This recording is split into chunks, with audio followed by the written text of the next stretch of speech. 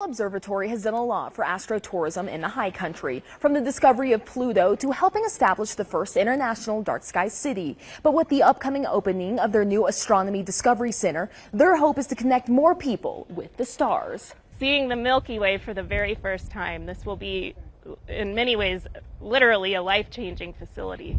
The Marley Foundation Astronomy Discovery Center officially opens November 16th. The talks about expansion have been going on for over a decade.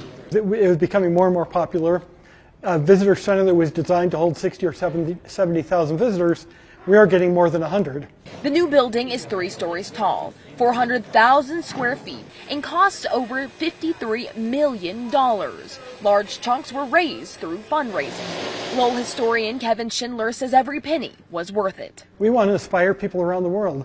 You don't have to have a PhD in astronomy or physics to enjoy the universe and get connected with the universe. New attractions include a two story, 160 degree theater screen, rooftop dark sky planetarium, and a curiosity zone for children. Child can come back an unlimited number of times and have a different outcome every time. Something outreach manager Samantha Christensen is especially excited for. And I started coming to Lowell when I was probably about five.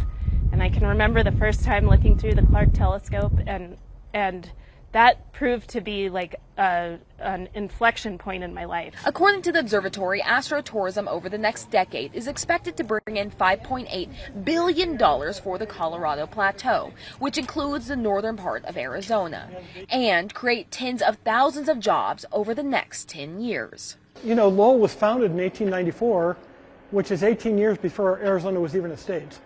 So Lowell and Flagstaff and Arizona, we grew up together. It's all of us in the community working together um, to provide a great experience for those who live here, um, for those who are visiting from around the world. Reporting in Flagstaff, Mason Carroll for Arizona's Family.